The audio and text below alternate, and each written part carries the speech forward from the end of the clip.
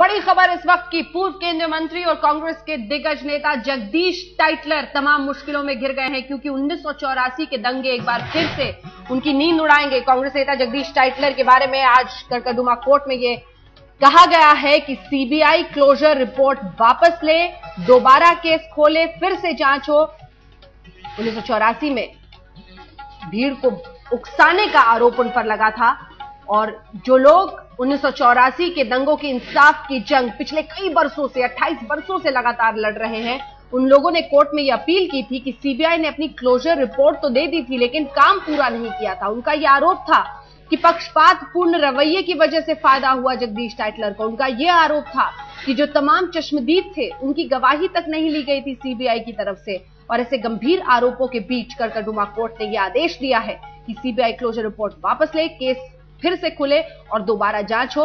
आपने सुना चौरासी दंगे के ये लोग जो इंसाफ की लड़ाई लड़ रहे हैं, उन्होंने कोर्ट के बाहर कहा कि हाँ देर बहुत हो चुकी है, लेकिन इंसाफ की आस बाकी है। हालाँकि 28 वर्षों के बाद अब फिर से केस की पूरी तफ्तीश छानबीन नए सिरे से होना, न जाने और कितना वक्त लगेगा। कई बार इंसाफ को लेकर कई सारे सवाल या निशान लगते हैं, लेकिन फिर भी जो लोग इस लड़ाई को लड़ रहे हैं, अब उनका भरोसा एक बार फिर से जगा है, क्योंकि कड़कड़डुमा कोर्ट ने आज ये कहा है कि सीबीआई की क्लोजर रिपोर्ट वापस ली जाए, दोबारा केस खुले, फिर से जाँच हो। यानी जगदीश टाइटलर की भूमिका उन्नीस सौ चौरासी के दंगों में क्या थी, इसकी जाँच दोबारा होगी, मुश्किलें उनकी बढ़ेंगी, फिर से पूछताछ, एक बार फिर से तमाम सबूतों को इकट्ठा करने की कोशिश, और सबूतों का ही रोना रोकर सीबीआई ने अपनी तरफ़ से क्लोजर रिपोर्ट सौंप दी थी 2009 में।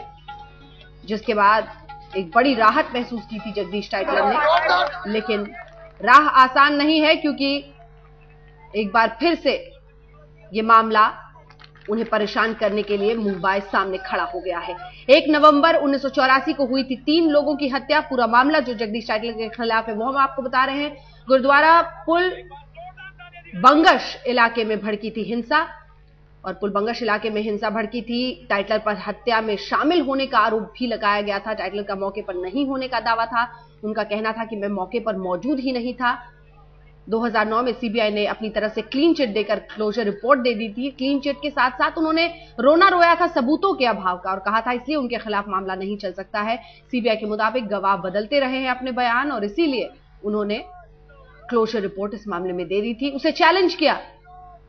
जो लोग चौरासी के दंगों का इंसाफ चाहते हैं, उन्होंने चैलेंज किया सीबीआई की क्लोजर रिपोर्ट को, और उनकी जीत हुई है। कोर्ट ने यह माना है कि केस चलना चाहिए जगदीश टाइटलर के खिलाफ।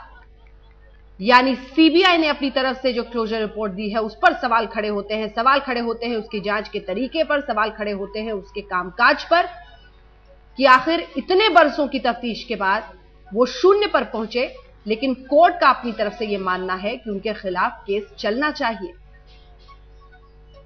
कड़कड़ुमा अदालत में यह याचिका डाली गई थी। अदालत में दोनों पक्षों के बीच लंबी बहस चली। सीबीआई ने यह कहा कि हमें सबूत नहीं मिले और यह वही रोना है जिसका रो, आ, हवाला देकर 2009 में क्लोजर रिपोर्ट सौंपी थी सीबीआई ने। एक बार फिर से सीबीआई ने यही कहा कोर्ट में दलील के रूप में कि हमारे पास सबूत नहीं है।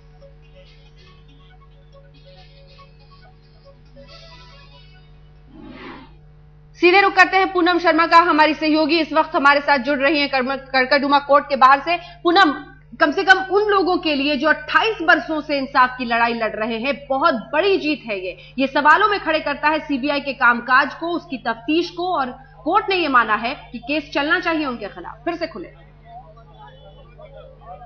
बिल्कुल ठीक आपने कहा, क्योंकि तीन दशक का इंतज़ार बहुत लंबा होता है इंसाफ के लिए, और आज कोर्ट ने निचली अदालत के फैसले के खिलाफ आज कहा है कि टाइटलर के खिलाफ इस मामले में केस जो है वो रीओपन होना चाहिए। सीधे तौर पर अगर कहें तो ये बहुत बड़ी जीत है उन लोगों के लिए जो लगातार तीन दशक से अपने लोगों को खोलने का दर्द तो झेल ही रहे हैं। साथ ही इंसाफ की लड़ाई भी लड़ रहे हैं।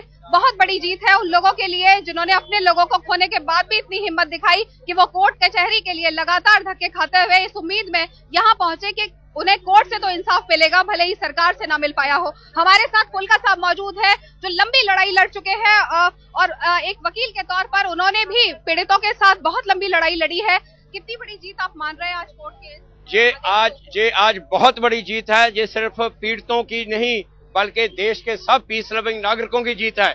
जो जे आज ये जो जज साहब अनुराधा शुक्ला जी ने जो एक हिस्टोरिक फैसला दिया है और सारे ये दिखा दिया है कि अगर ये सीबीआई जैसी एजेंसियाँ किसी पॉलिटिकल प्रेशर के अंडर आके ऐसे ऐसे क्लीन चिट देने लगेंगी तो कोर्ट उनको नहीं मानेगी। इसी केस में यानी यानी इसी केस में सीबीआई के ज्वाइंट डायरेक्टर ने कहा था कि चलान फ़ाइल करो चार्जशीट फ़ाइल करो टाइटल के अगेंस्ट मगर सरकार के दबाव के अंडर आके ये इसने डायरेक्टर ने उसको नहीं माना और क्लीन चिट दे दी। सीधे तौर पर कहे तो इतने लंबे इंतज़ार के बाद ही सही लेकिन ये महीना जो है वो चौरासी के दंगा पीड़ितों के लिए बहुत खास है क्योंकि 16 तारीख के बाद सज्जन कुमार पर भी फैसला आना है और साथ ही आज टाइटलर के खिलाफ भी केस को दोबारा शुरू करने के कोर्ट ने आदेश दे दिए हैं।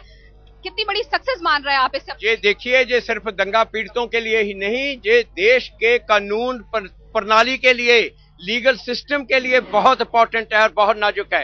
देश के सभी नागरिकों के लिए जो कहते हैं कि हम शांति से जीना चाहते हैं, ना कि ऐसे पॉलिटिशियनों के रहमो करम पर।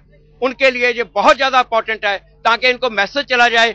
आप बच नहीं सकते ये कानून, देश के कानून से। चाहे आप 25 साल 30 साल अपने पैसे और पोलिटिकल ज़ोर पे अब बचते रहो, एक ना एक दिन कानून आके आपको पकड़ेगा ही पकड़ेगा। ये क्लियर मैसेज है उनको सबको। कुल मिला के बहुत बड़ी जीत तो है ही लोगों के लिए। साथ ही एक उम्मीद ये भी बंदी है कि टाइटलर के खिलाफ तमाम जो सीबीआई ने सबूत जुटाए थे ये कहते हुए कि जो भी इस मामले में गवाह है उन पर भरोसा नहीं किया जा सकता। या फिर जो सबूत मिले हैं वो काफ़ी नहीं है हम्म, इतने रिलायबल हम्म। सोर्सेज नहीं है जिन पर ये कहा जाए। ये बहुत बड़ी जीत है आम लोगों की भी न सिर्फ़ चौरासी दंगा पीड़ितों की भी और चौरासी दंगा पीड़ितों को ऐसा लगता है कि भले ही सरकार से उनका भरोसा उठ गया हो सीबीआई से उनका भरोसा उठ गया हो लेकिन कोर्ट के इस आदेश के बाद आज उनका भरोसा कोर्ट पर दोबारा इस बात को हम्म, लेकर हो हम्म, गया है हम्म। कि न्याय ज़रूर मिलेगा भले ही देर से मिले।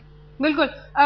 पूनम अगर फिर से फुल्का साहब मिले या कोई और वकील वहाँ पर मिले जो लोग मौजूद हैं वो मिले सीबीआई के कामकाज को लेकर ही सवाल है क्योंकि उन्होंने 2009 में क्लोजर रिपोर्ट अपनी तरफ़ से दे दिया था। अगर कोर्ट ये मानता है कि ऐसे कुछ गवाह सबूत हैं जिनसे आगे केस को ले जा, जा सकता है कौन सी वो दलीलें थी सबसे मज़बूत दलीलें, जिसकी वजह से सीबीआई के कामकाज को एक तरह से खारिज करते हुए कोर्ट ने कहा कि आप फिर से दोबारा जाँच कीजिए। देखिए, जैसे टाइटलर वाले केस में उन लोगों से, उन लोगों को इस मामले में गवाह बनाया ही नहीं गया। जो जिस वक्त दंगा हुआ था उसमें विटनेस बनना चाहते थे। गवाह उन लोगों को बनाया गया जिन्होंने सीधे तौर पर कहा कि हाँ टाइटलर को उन्होंने वहाँ नहीं देखा, या जो इस बात की तस्दीक कर रहे थे कि टाइटलर जो गुरुद्वारा पुलबंगश पर तीन लोगों की हत्या की गई दंगे के दौरान, वहाँ न होकर इंदिरा गांधी के आवास पर थे। इसको प्रूव करने के लिए एक सीडी भी मुहैया कराई गई कोर्ट में। ये दिखाते हुए कि उस दौरान आर के धवन और अमिताभ बच्चन के साथ टाइटलर दिखाए गए थे, लेकिन उस सीडी में कहीं ये मेंशन नहीं था कि कितने बजे की ये घटना है। तो ऐसे में बहुत सारे सवाल थे जो पीड़ितों की तरफ़ से उठाए गए थे। टाइटलर के खुद के ड्राइवर से बयान लिए गए कि टाइटलर उस वक्त कहाँ थे, लेकिन उन लोगों से बयान नहीं लिए गए जो पीड़ित पक्ष के लोग थे। तो ऐसे में पीड़ितों की तरफ़ से जब ये पुनर्विचार याचिका दाखिल की गई तो इन्हीं सब ग्राउंड पर की गई। बीच में पीड़ितों की तरफ़ से ये सवाल भी उठाया गया कि इस मामले में क्यों ना अमिताभ बच्चन को भी एक विटनेस के तौर पर ताकि वो बता सके। ये ये बिंदु बहुत महत्वपूर्ण है। पूनम आपके पास लौटूँगी लेकिन उससे पहले रेणुका चौधरी कांग्रेस पार्टी के प्रवक्ता क्या कह रही है? आइए सुना दें। अच्छी बात है कि अगर कानून ने अपने कदम उठा लिए तो let them face the consequences अगर ऐसा कुछ हुआ। मगर अभी तो आपको सबूत समेत कुछ नहीं पेश हुई है। जहाँ तक जगदीश टाइटलर की बात है लेकिन जब आप मोदी को 2002 के दंगों के लिए लगातार हमला करते हैं, उनसे माफ़ी मांगने को कहते हैं, उनसे इस्तीफा देने को कहते हैं कुछ नैतिक ज़िम्मेदारी कांग्रेस पार्टी की भी बनती जैसे सबूत समेत नैतिक ज़िम्मेदारी कांग्रेस के आपने बहुत सारा इशारा दे चुके हैं क्या जहाँ हम किसी को बख्शते नहीं है, आप अच्छी तरह जानते हैं। अगर गैर कानूनी काम हुआ और कानून ने कुछ कहा तो उसको वो तो लागू होगा ही।